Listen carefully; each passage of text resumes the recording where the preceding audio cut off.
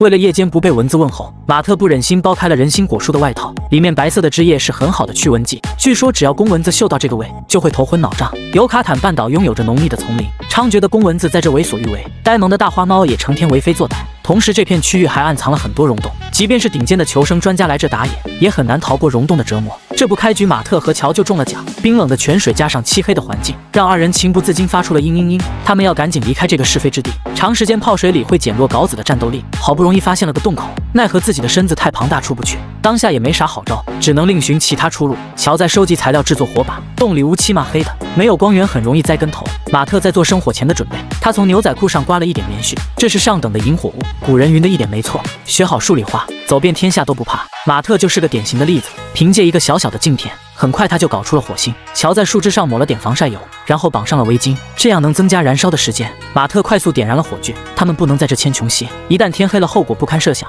事不宜迟，二人赶紧起了身。洞里的地形可谓是崎岖不堪，没有缺德地图的加持，方向上是很容易出岔子。果不其然，没一会他们就成功进入了死胡同。在不了解地形的情况下，最好的办法就是绕道。折腾了几小时，二人愣是没找到出口。就在他们不知所措时，突然耳边传来了水流声。为了能早点脱离苦海，乔主动申请出战，潜入了水底。他发现了另一侧有光源。马特得知此事，兴奋的不知所措。孔子曾云过：“心动不如行动。”深吸了一大口新鲜的空气，两人一个猛子，直接扎进了水底。等二人浮出水面时，头顶上正是久违的蓝天和白云，这感觉真的是太 beautiful 了。可如何返回陆地是个大问题。眼前这些腐朽的藤蔓，是马特和乔离开溶洞的唯一途径。即便攀爬随时会有吃席的风险，但马特一点没犹豫。只见他像窜天猴一样，三两下就到了顶端。不愧是荒野界的标杆，乔也不是等闲之辈，哼唧哼唧爬了几小时，在马特的帮助下也成功登了顶。查看背包时，乔发现生火镜片丢了，这让他十分恼火。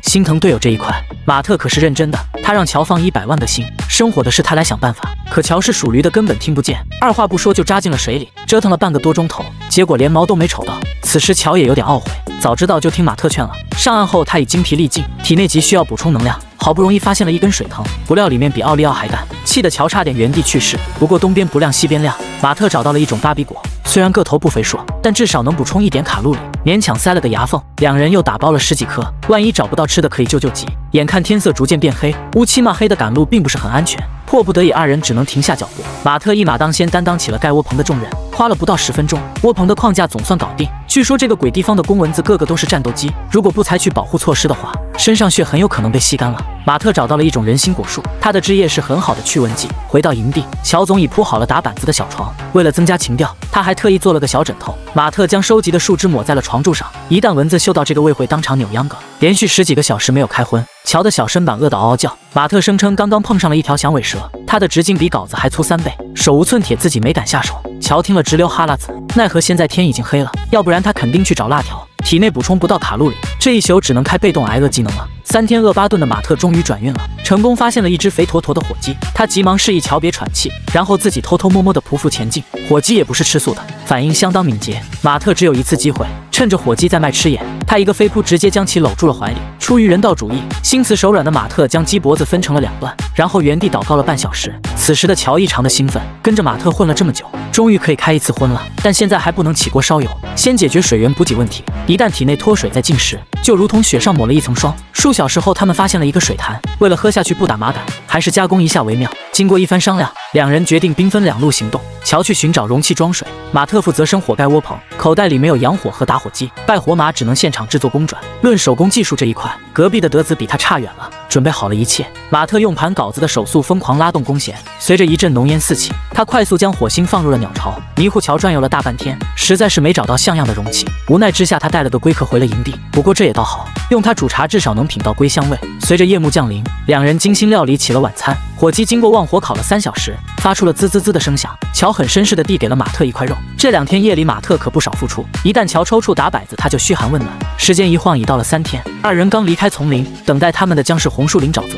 不过这倒并非是坏消息，只要能顺利穿过这片地，等待两人将是海岸线。费了九牛二虎之力，二人成功来到了沙滩上。周围的材料有限，制作烽火根本不现实。马特捡了个空海螺，对着口子就往死里吹。你还别说，这号角的魔力就是大。没过多久，海里就出现了一艘渔船。随着渔船的缓缓到来，两人成功完成了本次挑战。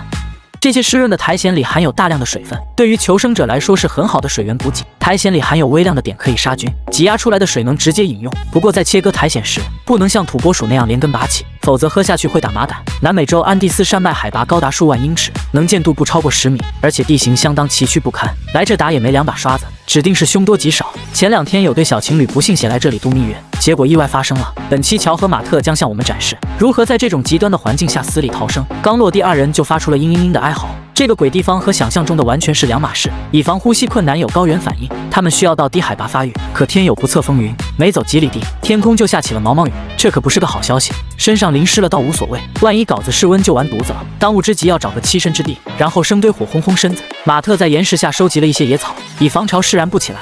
他特意塞进了怀里，转悠了一大圈，两人终于发现了一块风水宝地。这个地方干燥又避风，是搭建庇护所的不二之选。乔用石头堆了的矮墙，一旦有火就能反射热量，以防夜间睡觉嫌扎人。他又在地上铺了很多干草，躺在上面只有一个字舒服。马特也没闲着，在为生火前做准备。趁着空档时间，乔打算出门找点卡路里。来到水塘附近，一只呆萌的肥蛙正在悠闲的发呆。机会，乔找准时机来了个回手掏，奈何这货会闪躲，成功逃过了一劫，被一只肥蛙戏耍。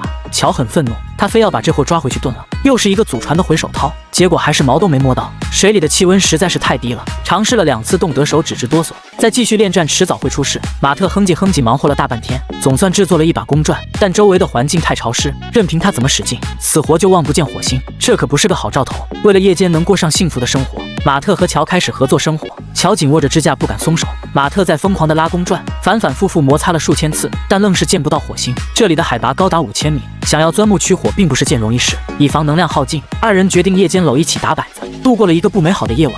两人继续上了路，这里地形崎岖又湿滑，稍有不慎就会扭伤脚丫子。好在他们是顶尖的求生专家，经过几小时的艰辛跋涉，植被变得越来越茂密，海拔也随之降低了几百米。二人明显感觉呼吸顺畅了很多。就在此时，耳边传来了哗啦啦的声响，定睛一瞧，原来是条湍急的小溪。在野外，小溪是重返文明的高速，只要沿着它往死里走，总会踏上回家的路。但坏消息，前方有道瀑布挡住了去路。传闻贝爷也不喜欢绕道，乔和马特也不例外。收集了几根又细又粗的藤蔓，二人将它编织成了绳子，扔到了谷底。马特艺高人胆大，打起了头阵。只见他像窜天猴一样，眨眼的功夫就落了地。乔也不是吃素的，紧随其后。中途虽有点心惊胆战，但结果还是美好的。开局已有了十几个小时，两人还没有吃到正经的食物。照这样光出不补。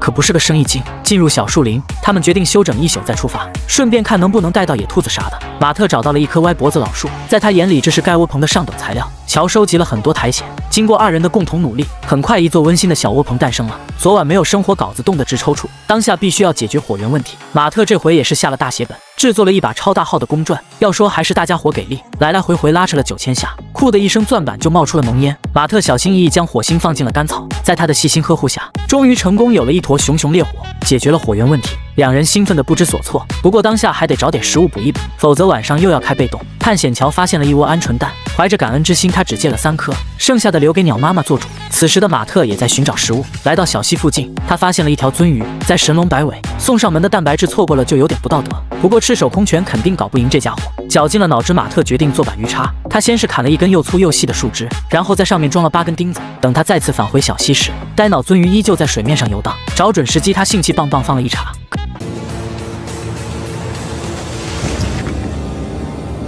可结果足足偏了有十公分，插上连半根鱼毛都没有。马特思来想去，这很不符合逻辑。他决定再尝试一把。傻尊也很给面子，又给了他一次机会。咔嚓一下又插了下去，这回直接击中了鳟鱼的小心脏。就在马特准备收工回家时，又有一条不怕死的主动送上门。找准时机，心慈手软，一击毙命。眼看天色也不早了，他得赶紧回去和乔会合。回到营地，两人精心料理起了晚餐，以防影响烤鱼的口感。他们愣是没敢放半滴调料。趁着烤鱼的功夫，乔先尝了一口鸟蛋。这口感真是盖了帽，蛋白质是鸡蛋的五倍。这次的烤鱼火候恰到好处，里焦外嫩，嚼到嘴里全是肉。有了蛋白质的补给，这一宿二人终于可以做个美梦了。天亮后，他们继续沿着小溪往下游进发。没走几小时，视野里出现了一排房屋，但前提是要通过湍急的小溪，这可不是闹着玩的。一旦掉下去，立马会被急流卷走。为了保险起见，马特砍了一个棵树苗，然后将其架在了两岸的石头上，这样手部就会有接力点。眼看就要下班回去陪女朋友，乔主动打起了头阵。很幸运，他成功到了对岸。走独木桥对马特来说就是小儿科，喘气的功夫他就落了地。